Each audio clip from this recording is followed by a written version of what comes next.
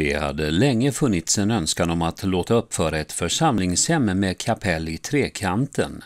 Och ett steg i att förverkliga denna önskan inleddes med att man i december 1910 satte in 9 kronor och 34 öre på ett bankkonto.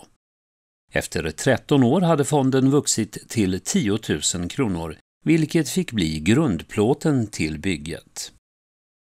Ytterligare två år senare, den 25 november 1925, kunde det nyuppförda kapellet invigas av den dåvarande biskopen i Växjö stift, Ludvig Lindberg. Och det var också biskopen som föreslog att kapellet skulle få namnet Sankt Olof, efter den norske helgonkungen som inte bara är Norges nationalhelgon, utan också under medeltiden ett av de populäraste helgonen i Norden. På midsommarafton tre år senare invigdes kyrkklockan som gjutits av KG Bergholtz och kompani i Stockholm.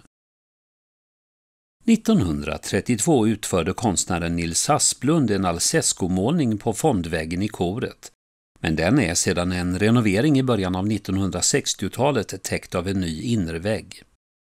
Vid samma tillfälle tillbyggdes en läktare, bänkinredningen renoverades och nytt altare och predikstol tillkom och det var när återinvigningen skedde den första söndagen i advent 1962 under ledning av biskop David Lindqvist som kapellet fick status som kyrka. Framför den nya innerväggen finns ett altarskåp som kom på plats i slutet av 1960-talet och som har formen av en målad triptyk skapad av konstnären Sven-Bertil Svensson från Mörbylånga. Altarskåpets huvudmotiv som vi ser när skåpet öppnats visar scener ur Uppenbarelsebokens fjärde och femte kapitel, där Johannes skildrar hur de 24 äldste faller ner och tillber honom som sitter på tronen. På vänstra flygens insida syns framför de tolv äldste jungfru Maria och längst bak ärkeängeln Gabriel. På högra flygen står Johannes döparen främst och ärkeängeln Mikael i bakgrunden. När skåpet är stängt under fastan visas ett annat motiv ur Bibeln, kampen mellan det goda och det onda representerade av ärkeängeln Mikael och draken.